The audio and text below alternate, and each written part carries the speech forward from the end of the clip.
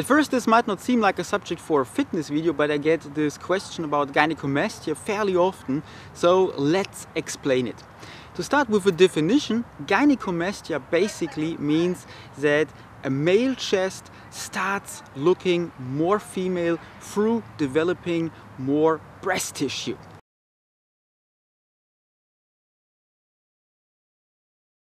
Basically there are two causes for this and number one is body weight. If you are overweight, you have more fat tissue than you should on your entire body and of course some of that ends up on your chest and then that chest starts looking more female and if you suffer from that form of gynecomastia if you know you are overweight and should lose weight then that is exactly what you should do to get rid of the gyno because through losing weight the more female looking chest usually goes away.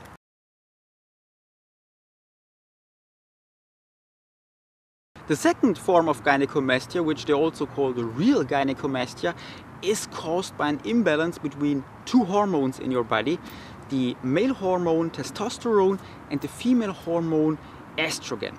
Men normally have uh, uh, much more testosterone than they have estrogen, but sometimes this balance gets a bit disturbed.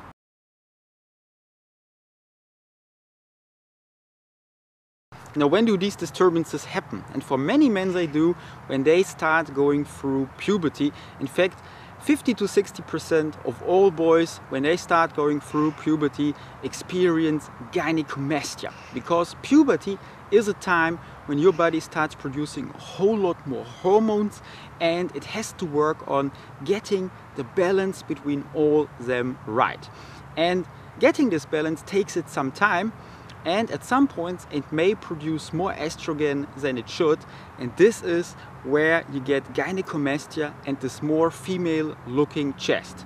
But very important, sooner than later, usually after about six months to two years, it has sorted it all out and the gynecomastia goes away by itself.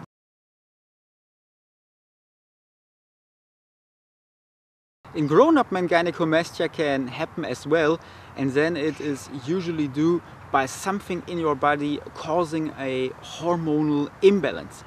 And because you uh, can't say where this hormonal imbalance comes from, you should really see your doctor and he should then tailor a solution that works for you specifically.